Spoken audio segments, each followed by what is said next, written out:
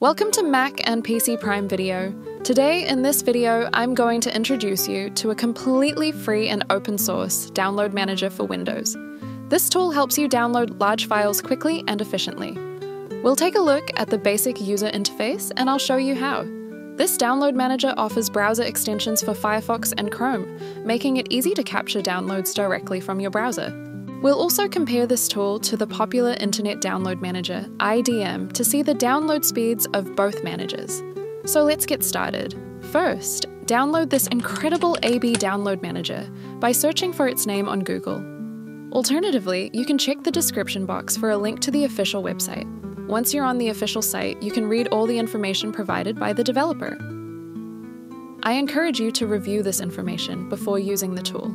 If you want to check the source code, simply click the GitHub button.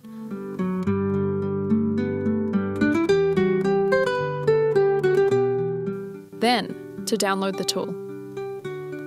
Return to the official website and click on the Get App option. Download the installer zip file and install the application as you normally would.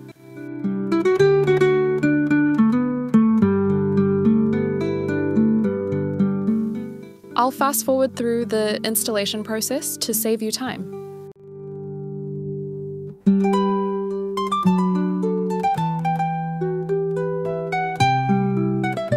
Next, we need to install the browser extension so it can capture downloads and transfer them to the download manager.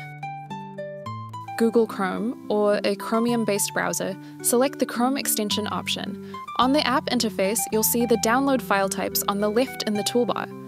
There are several useful options like Add URL, Resume, Pause, and Start Over.